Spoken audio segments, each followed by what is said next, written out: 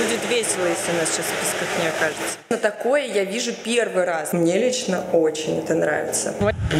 Не очень. Это просто у меня не передать слов. Я... Яна гребет, а я тут кайфую. Звук слышал, какой крутой?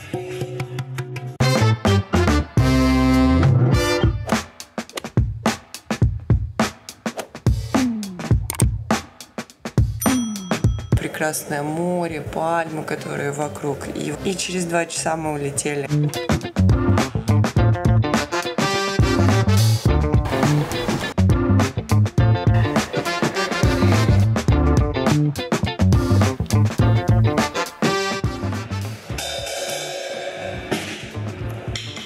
Ты прям вообще прирожденный барабанщик.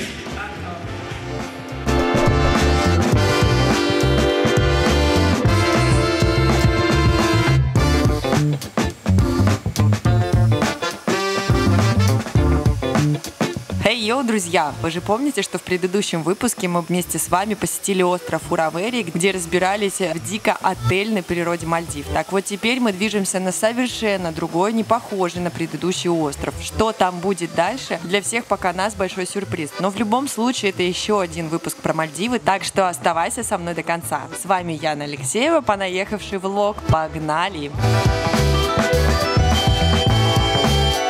Так, мы приземлились, у нас сейчас получается первая высадка. Дальше мы садимся на катер и едем на другой остров. Полет вообще, на самом деле, вообще трансфер вот этот из Мали на острова, это как отдельный вид развлечения, потому что все снимают всегда, все фотают, посадки, высадки вот эти вот все, они, конечно, тоже добавляют такого experience а от путешествия.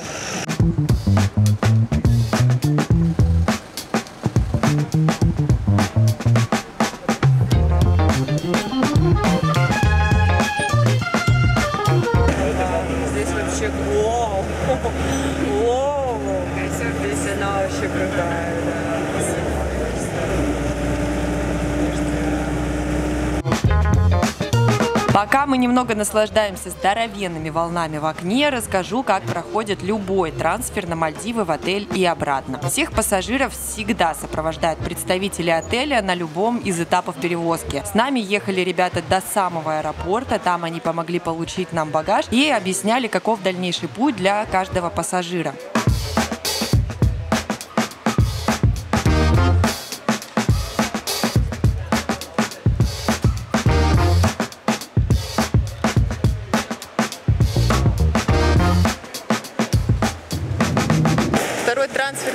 В любом случае на порядок проще, хотя бы потому, что в этот раз со мной есть англоговорящая Женя, которая решает абсолютно все вопросы. Это, это хорошо. Нам нужен был другой отель, поэтому мы снова вернулись на место, где отель регистрирует своих новоприбывших гостей. Но там никого не оказалось. Мы пришли на стойку нашего следующего отеля, но похоже, нас тут никто не взял. Никого нет, есть списки, по крайней мере, хотя бы есть какая-то живая составляющая, потому что на соседней, вот, например, стойке другого отеля вообще нету даже списков, поэтому здесь сейчас Женя вон ходит, ищет, списки проверяет. Будет весело, если нас сейчас в списках не окажется. Мы есть в списках? В списках есть. В списках вы есть, это уже хорошо. Женя не оставляла попытки найти ребят и пошла узнавать на соседние стойки. Немного ожиданий наши ребята наконец появились. Они сверились со списком, повесили отельные бирки на багаж и повели нас к причалу. В этот раз мы с вами поедем на катере. Катер – это еще один распространенный вид трансфера. Стоит он гораздо дешевле поездки на гидросамолете, он курсирует круглосуточно, но и ездит в основном до островов, которые находятся недалеко от Мале. Чаще всего отели в такой близости выбирают для семейного отдыха с детьми, так как время в пути не превышает 70 минут. Life jackets, keep them on and your mask as well, keep them on. Enjoy your stay. Thank, Thank you. you. Нам же плыть около 15 минут и двигаемся мы в сторону комплекса Crossroad Maldives.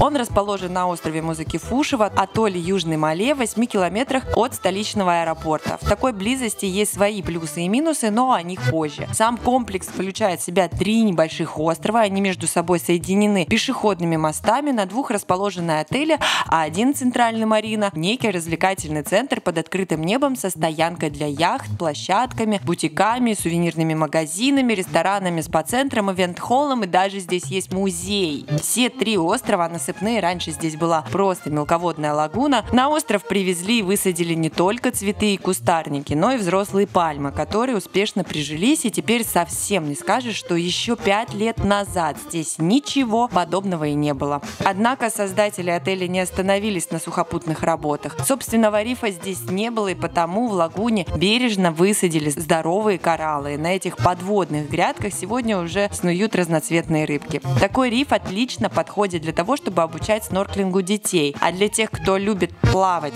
с маской, в настоящем рифе три раза в день организуются поездки за дополнительную плату от 45-65 баксов в зависимости от времени суток. Ближайший риф находится в 10 минутах езды на катере.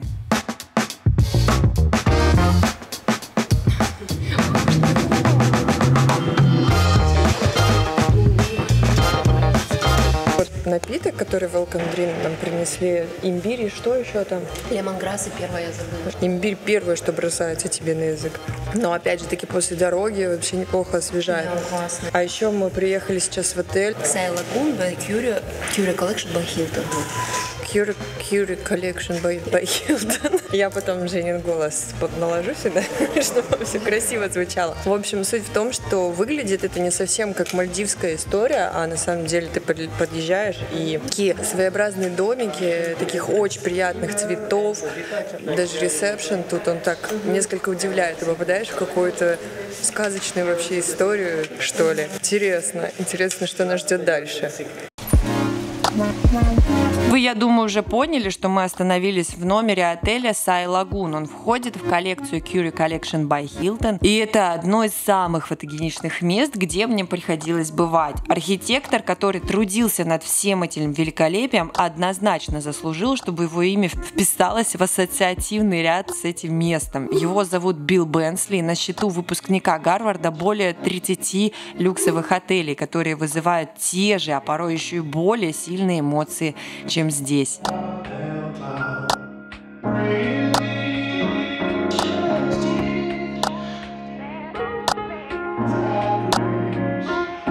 Because you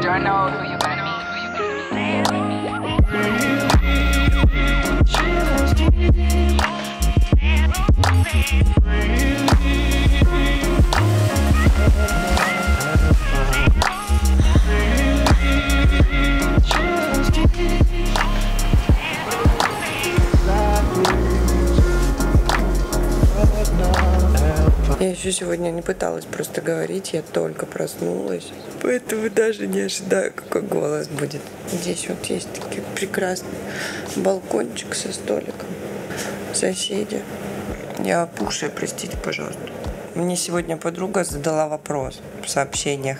Счастлива ли я оказаться на Мальдивах? Так вот, снимая для вас контент, я даже не понимаю, на самом деле, мне нет времени такового остановиться и понять это. Я вроде только вчера начала осознавать, что я на Мальдивах, я приходила на завтрак в головной ресторан, смотрела на это прекрасное море, пальмы, которые вокруг. И вот только тогда я вроде такая, о, я на Мальдивах. И через два часа мы улетели на новый остров. На новом острове история немножко другая. Здесь история более цивилизованная. Здесь такая, как вот сказала Женя, она много путешествует. Это я-то была аж в целых двух странах. Я-то вам расскажу. Здесь как будто бы маленькая Португалия. Это вот для тех, кто сейчас особенно соскучился по Европе. Границы все закрыты, а здесь вот где-то частично это похоже на Вьетнам, где-то частично на Европу, потому что здесь есть целый отдельный остров, там бутики, рестораны, и ты идешь, и все время у тебя перед глазами разные интересные здания, все очень красиво сделано, все очень чистенько. Вот где бутики, рестораны, там вообще плиточка лежит, что немного странно для Мальдив. Здесь, где мы живем, у нас вот корпуса. Мы живем в Cura Collection by Hilton. Это такая, типа, отдельная, аутентичная линия хилтоновских отелей. Они очень прикольные. И этот отель, не исключение, он очень такой своеобразный. В нем сочетаются какие-то, казалось бы, на первый взгляд, невозможные вещи, но они настолько стильные, настолько они максимально уют создают, что этим просто невозможно не наслаждаться. Поэтому, несмотря на то, что да, это не вилла, мы живем в номере, а не на вилле, но виллы здесь тоже имеются, просто сейчас этот отель, он очень заполнен. Здесь очень много людей. И вот через мостик э, здесь есть еще один отель Hard Rock. Море вот я только пока что увидела вот здесь, вот сейчас с балкончика. До этого море почти не видели, потому что мы приехали вообще на закате. И пока мы раскладывались в номере, в общем, уже после того, как стемнело, мы погуляли здесь по округе, но ничего не увидели кроме лампочек. Хотела соснять сегодня для вас развлечения. Начинались они с 7 утра, это йога. Но я подумала, что самое главное развлечение на Мальдивах друзья, знаете какое? Это выспаться. Поэтому я решила, что йогу можно снять в следующий день, а после дороги нужно немного отдохнуть, потому что, как видите, я сама немного не того. Ну что, погнали смотреть, что тут есть. Пока Женя там моется, немного покажу вам номер. Вот здесь я вам говорила, балкон. Здесь у нас постель. Вот эту черепаху я хранила для вас. Эту черепаху можно привезти домой себе, купить здесь в сувениры. Мы вчера же не спорили, что там. Она сказала, там внутри подушка. Я решила заглянуть. Сама проверить.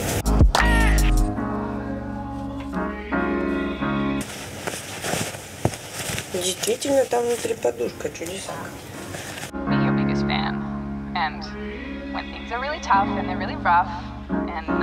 Офигенный мешочек, который сообщает о том, что я не хочу, чтобы меня будили, чтобы никто не приходил и не беспокоил. Очень оригинальные штучки вот эти. Далее вполне себе стандартный набор, стаканы, чай, кофе. Кофемашин в этой категории номеров нет, поэтому кофе здесь только растворимый. Зато я оценила эти металлические чайники. В одно утро я заварила там себе чай и убежала работать. Вернулась почти вечером, и на мое удивление, чай в нем по-прежнему был теплым. Еще здесь я прям очень оценила воду в стекле. Бутылки привозят, как правило, холодными, так вода дольше сохраняет прохладу. В этом отеле на второй день их не меняют на пластиковые и вообще эстетически пить воду из стекла – одно удовольствие. И вот подъехал минус этих классных мешочков. Мы случайно задели его рукой, он упал на пол и оставил нам вот такую черную россыпь какой-то крошки, очень похожей на уголь, но это не уголь.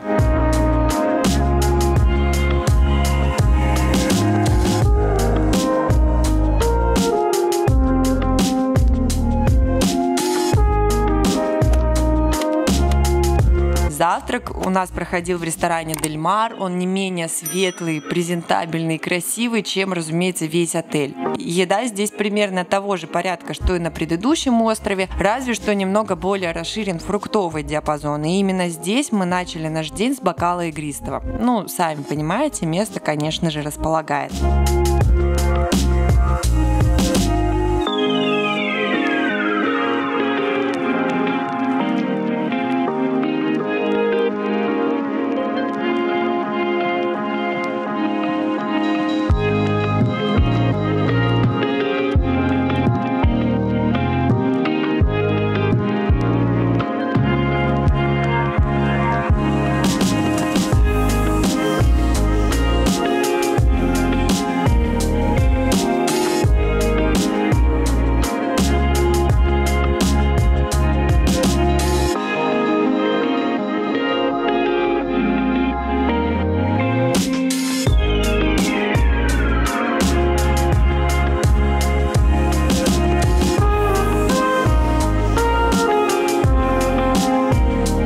После завтрака каждый посетитель легко попадает на территорию Beach Club. Здесь находятся центральные бассейны, пляж с белоснежным песком, коктейльные бары. Стоило зайти в туалет, чтобы найти там кое-чего еще.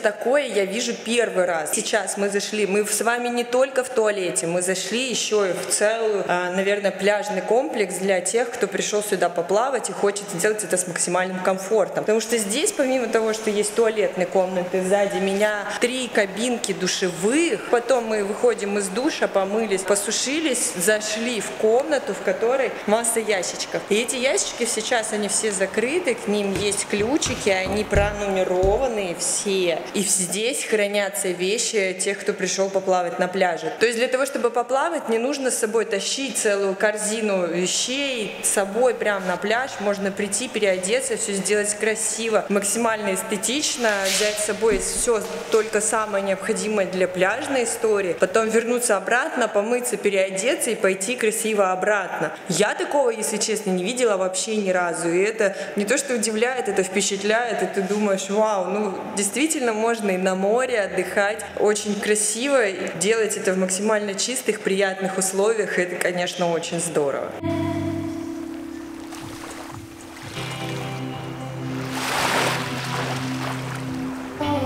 You watch, you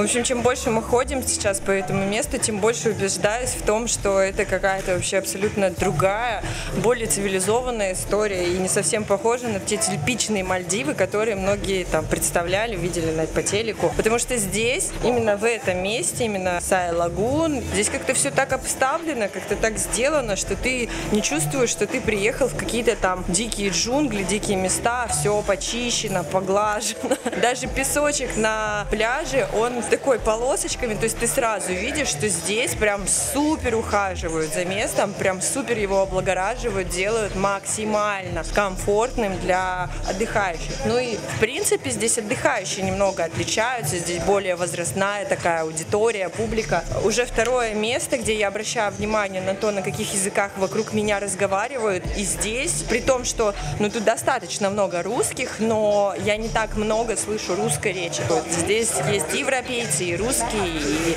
все смешались, и все, никто друг другу не мешает, все наслаждаются отдыхом. Максимально цивилизованно. Значит, так, рассказываю, что тут в ванной. Мы уже немного тоже обжились, и теперь можно все по чесноку рассказать. Ну, во-первых, тут, конечно же, тонна наших шмоток, всяких разных косметосов, хотя на самом деле не так уж и много. Самое, что первое бросается в глаза, когда мы вчера стали собираться, мы поняли, что в нашем номере нету зеркала в полный рост. В смысле нет зеркала в полный рост? Короче, для женщин зеркало в полный рост важно, поэтому если вдруг меня будут смотреть какие-то ательеры, имейте это в виду. Потому что здесь, например, вот эта вот часть, она добавляет, конечно, света, и она все время светит, потому что это окно на улицу выходит. Но вот эта вот штука, конечно, круто, что здесь сделано вот так вот, я могу отражаться и здесь сейчас смотреть и видеть, как у меня там что сзади. Или когда я сушу волосы, я могу развернуться и увидеть в то зеркало, а, что у меня сзади происходит. Это, конечно, удобно, но неудобно, неудобно стоять перед этим зеркалом, потому что раковина находится здесь, следовательно, я стою посередине, и что я вижу? Половину своего лица. То есть это как бы не очень удобно. Хорошо, что есть розетка прямо здесь, в ванной, потому что в предыдущем отеле у нас не было вот этой истории. И было немножко тоже странно, что розетка находится в гардеробной, далеко от зеркала, и сушить волосы было не очень удобно. Потом здесь, в этом отеле, абсолютно шикарная косметика. Вот у нас здесь боди-лосьоны мы заказали. И такие тонкие, такие мягкие. Такой у них тонкий вкусный аромат практически не ощущается, что пользоваться этой косметикой можно бесконечно. Мыло для рук тоже касается. Смотрите, какую щетку мне прикольную принесли. Она такая, типа, деревянная, но на самом деле она пластиковая, но создает впечатление дерева и тоже добавляет такого антуража. Есть зеркало вот такое вот увеличивающее. Не знаю, я на самом деле таким не особо пользуюсь, но кто пользуется, я думаю, для них тоже важна эта история. Такие краны очень аутентичные, очень... Вот вы знаете, вообще, в принципе, отель создает впечатление такого, знаете, действительно какой-то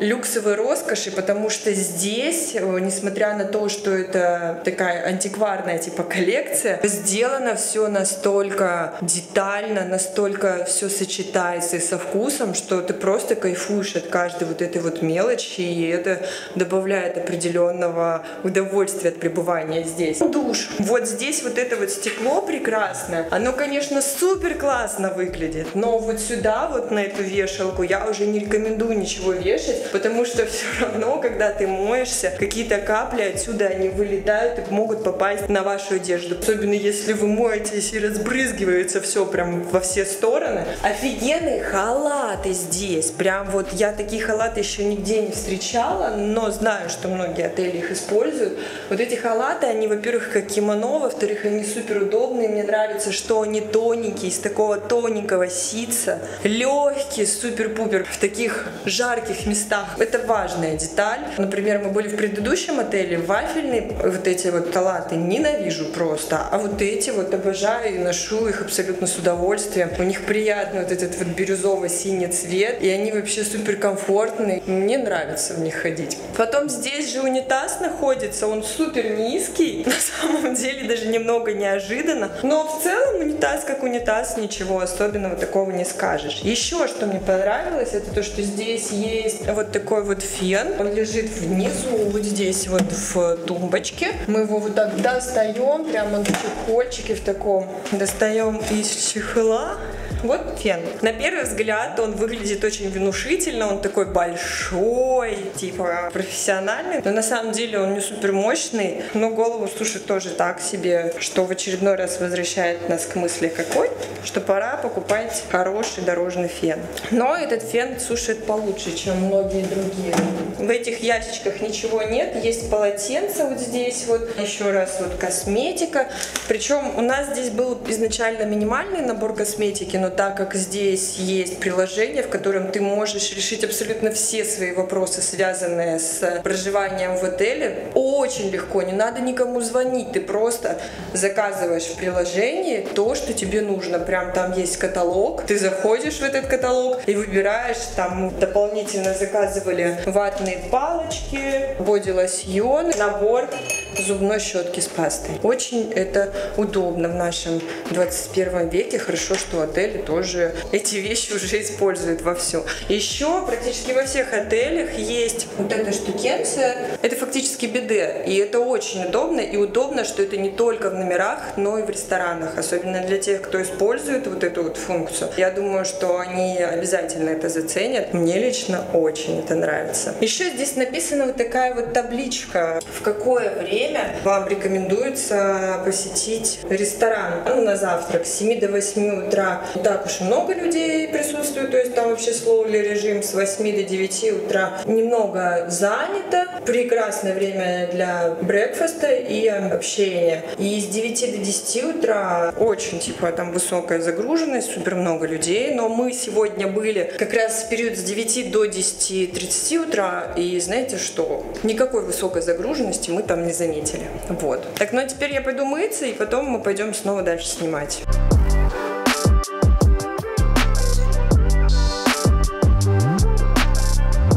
Есть у отеля еще один пляж, он находится со стороны ресторана Miss Olive Oil, и тут же есть коктейльный бар, где можно заказать себе какой-то еды.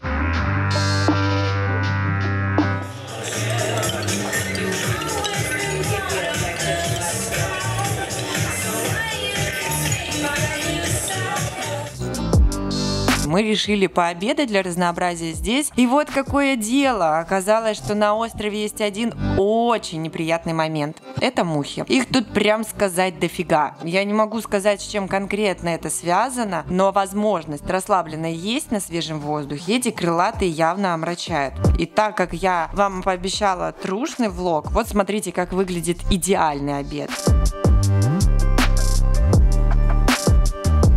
А вот это, как выглядит он на самом деле. Я знаю, это не очень, но это чистая правда. Подобный гнус здесь, кстати, регулярно травят, как и на других островах, не самым приятным для посетителей способом, если ты вдруг уж столкнулся в этот момент с этим облаком дыма. Таким образом, на Мальдивах травят комаров и мух, походу. Но с мухами у них не очень получается. Именно на этом острове. Потому что на Фуравере мух не было, были какие-то мошки, чуть-чуть комары, которые не особо заметны. И, кстати, также, да, там травят, да. Короче, везде на Мальдивах вот таким образом. А, обрабатывают. Воняет это какой-то вообще жженой резиной. Не очень.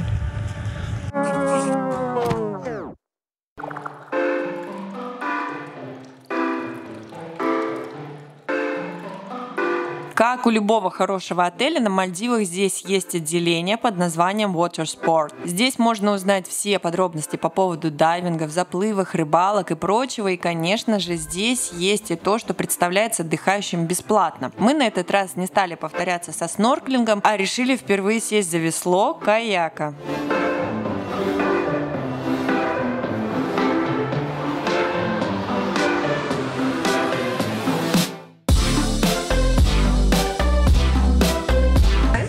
much potential.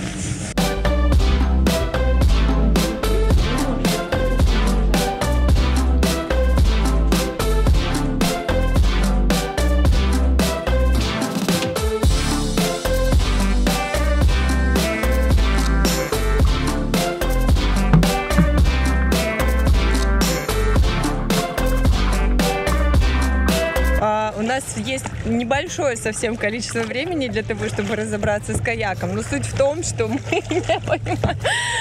Чувак, который выпустил нас в море, не объяснил этого, и мы кружимся пока на я месте. развернулась, фон красивый, давай что-нибудь не типа мы плаваем на каяк.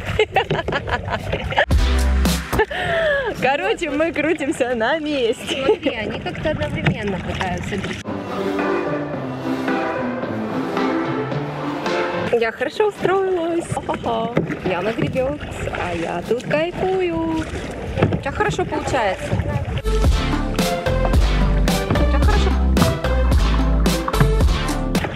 Ну хорошо, так с ветерком идем, с ветерком. Я постепенно начинаю вспоминать, как нужно грести. Делаю это из э, своих уроков по САПу, которые я брала в находке вообще прошлым летом. Видать, не зря училась, потому что мы смогли сплавать аж до середины моста. Фух, ну я, кстати, это... Фитнес, фитнес. Но это не, ну, как бы все равно интересно. Надо пробовать всякие разные Вот прикольно еще прозрачная лодка с прозрачным дном. Можно плавать, рыбок видеть, смотреть и красивые фоточки делать.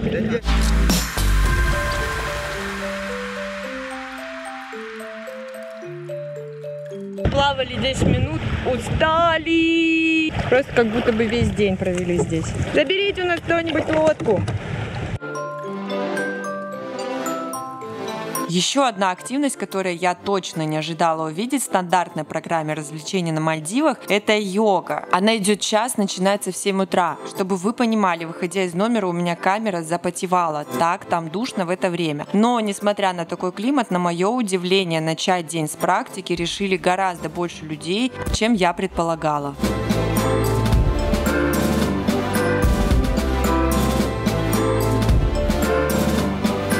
Помимо этого здесь есть классы по аква-йоге, например, для разнообразия, кто не любит йогу, кто любит больше в воде кувыркаться. Есть э, такие штуки, как росписи на кокосах, но мы так не попали на этот мастер-класс, потому что я перепутала дни. Sorry, друзья, очень хотела его снять для вас, но не получилось. Вчера прошел тайский Новый год, мы видели только приготовление к этому тайскому Новому году, хотя по программе он был до 10.30 длился, но мы были там уже в 8 часов вечера, и в 8 часов вечера уже не было ничего. То есть нужно было приходить днем для того, чтобы увидеть самую такую активную часть. Там что-то мы видели уже на полу было раскидано, было что-то грязное, в общем, там что-то явно запускали, бросали. Была какая-то движуха, которую мы тоже пропустили. Но вообще, как вы сами понимаете, на Мальдивах и именно на этом острове можно просто поплавать и поразглядывать крабиков.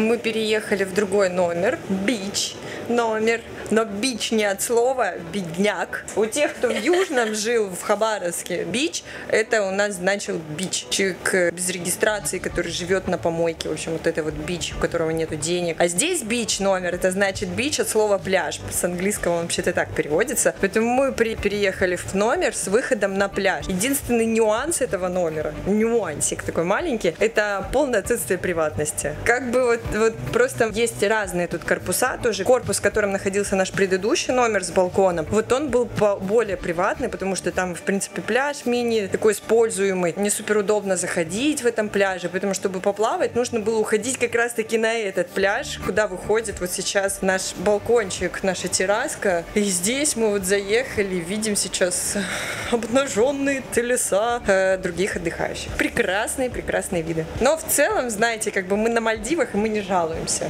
Как бы я так предполагаю, что вот эти вот места, вот эти вот, они предназначались для тех, кто как раз таки, как мы, выходит с виллы такой и ложится там отдыхать. Но не тут-то было. Вот наша терраса. А вон пляж. А вон заняты лежаки. И обнаженные телеса. Гуляют там.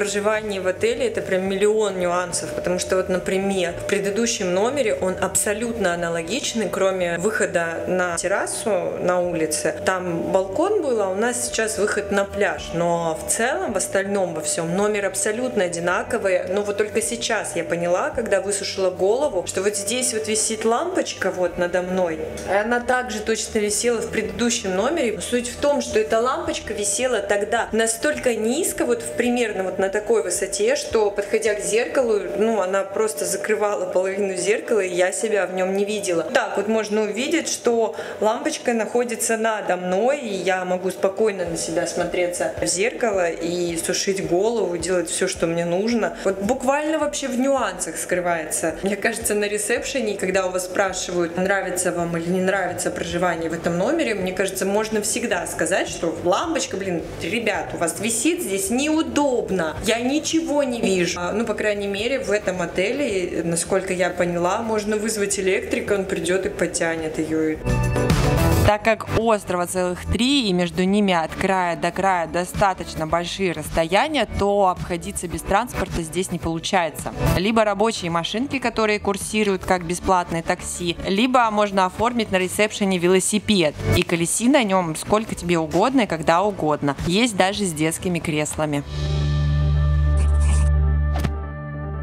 Друзья, мы с вами сейчас находимся в Discovery центре. Это одно из очень классных развлечений, которые вот лично для таких, как я, хочу все знаек, вот идеально подходят, потому что здесь на самом деле по расписанию можно прийти на какую-нибудь дискуссию, либо лекцию про то, как спасать черепах, всевозможные подводные миры, в общем, очень много всего интересного, но самое прикольное, что мне больше всего понравилось, мы сейчас пришли и увидели, что здесь есть целый музей, и музей такой полуинтерактивный, то есть его будет интересно посетить не только родителям, но и детям, потому что есть всевозможные такие маленькие интерактивные викторинки, типа «Достань, собери пазл», «Посмотри, где какое животное живет». И на самом деле это очень классно, потому что это не только развивает, но еще и вовлекает как-то в процесс. И в целом, когда ты здесь находишься и погружаешься в эту историю, связанную с подводным миром, но для людей, которые любят что-то изучать в этой жизни, я думаю, на Мальдивы прилетают очень много таких людей. Для них очень здорово вот получить вот такую возможность еще и со стороны как бы науки,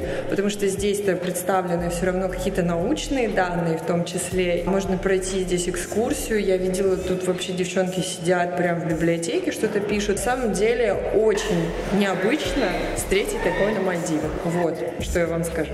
Мы с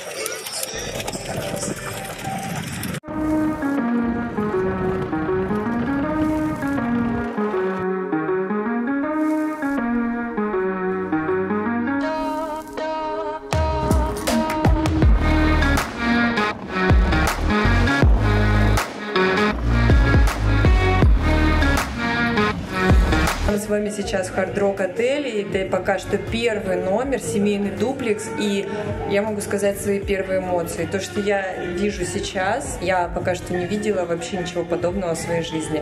Это настолько идеально соответствует моей картине мира, когда ты приезжаешь со своим маленьким сыном куда-то отдыхать на Мальдивы куда-то и отдыхаешь вот в таком месте. Это просто, у меня не передать слов. Я вам дальше расскажу, что меня потрясло больше всего.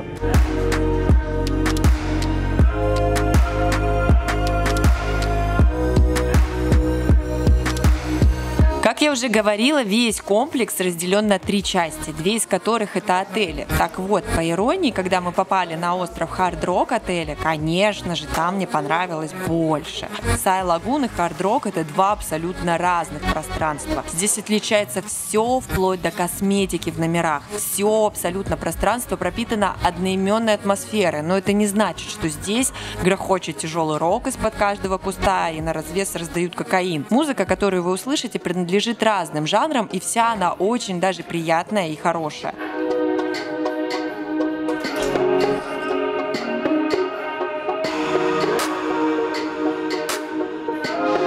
Музыкальная же изюминка проявляется в разных абсолютно неожиданных мелочах, начиная от гитарного узора на постельном белье до музыкальных реликвий на стенах ресторана Sessions. В номер можно заказать проигрыватель с виниловыми пластинками своих любимых исполнителей и даже попросить гитару, чтобы помузицировать на закате, не вставая с постели. И это, ребят, я хочу сказать, для меня лично было просто легендарными такими нюансами, которые поразили в самое сердце. Это Yeah.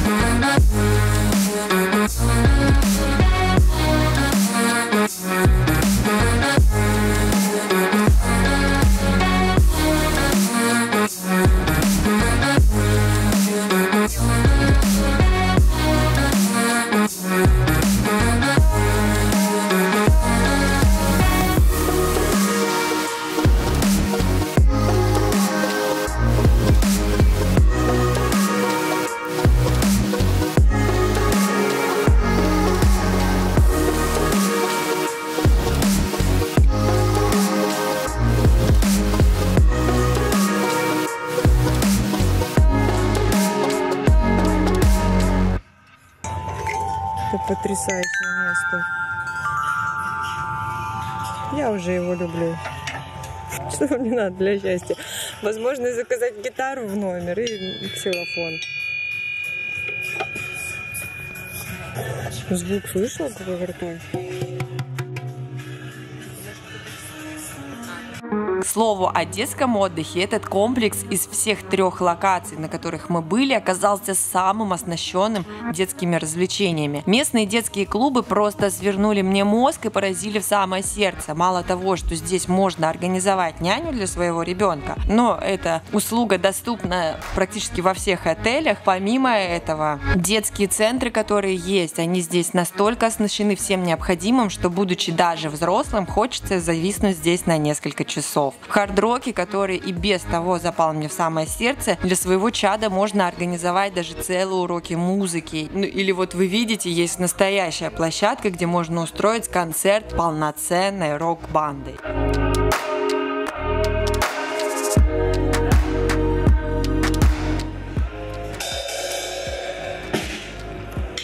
Ну, ты прям вообще прирожденный барабанщик.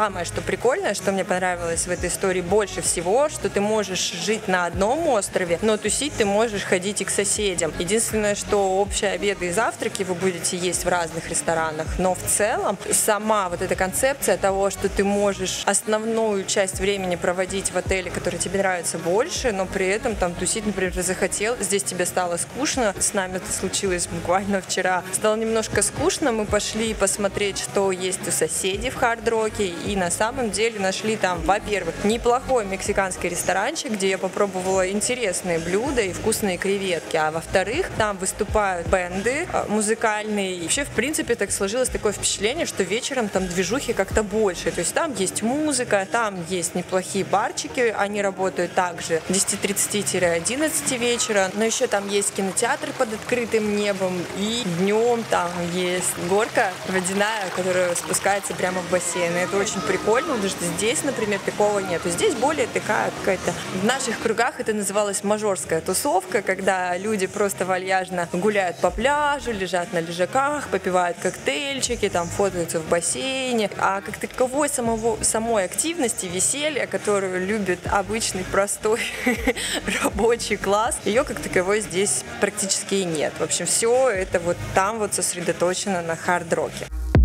Это я вам еще не рассказала про рестораны, про спа, про то, как мы ходили в хард-рок кафе, купили в хард-рок шопе стаканы, как пробовали том-ям в мистере том-ям и много чего еще, что я желаю каждому из вас попробовать. Однозначно, на острове есть свои плюсы. В плане активности и скучно здесь точно не будет. Минусы в плане какой-то сокращенной природной фауны и сильной близости к столице Мальдив. Ее буквально видно здесь с берега. Ее и корабли, которые обслуживают город, ну каждый выбирает выбирает свое. В следующем видео я покажу еще один отель, который больше похож на типичные Мальдивы высшего разряда. А пока подписывайся на мой канал, пиши свои комментарии, потому что среди вас в последнем мальдивском выпуске я разыграю вот такой презент. Бирку на чемодан, которую я привезла прямо с экватора.